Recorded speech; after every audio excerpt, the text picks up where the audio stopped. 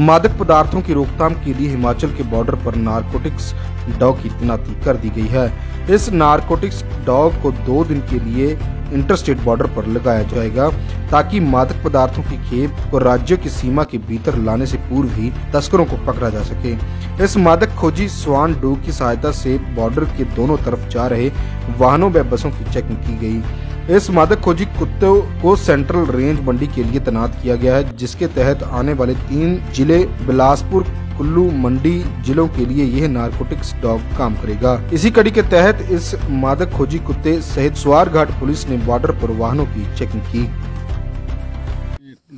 माननीय पुलिस महानिदेशक महोदय ने दो दिन के लिए यहाँ पर डॉग स्कॉट स्नैपर डॉग भेजा था, ताकि जो अवैध तरीके से तस्करी की जाती है उस परवर्ती विशेषकर चिट्टा और जो भी मान लो नशीले पदार्थों को तीसरे रोका जा सकता उसके लिए डॉग वहाँ मंडी से आया था, जिसके द्वारा हम सघन जो वाहन है, उनकी तलाशी ली जा रही है।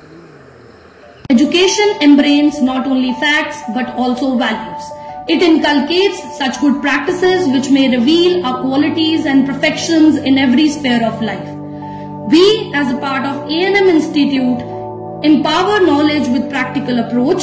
Students can accumulate knowledge and information from wide range of books, journals available in the library. We also nurture the skills of our future managers by the use of well-equipped and furnished laboratories. A&M Group of Institutes endeavors to impart such value-based education to our students. We welcome you all to A&M Group of Institutes, Pathan.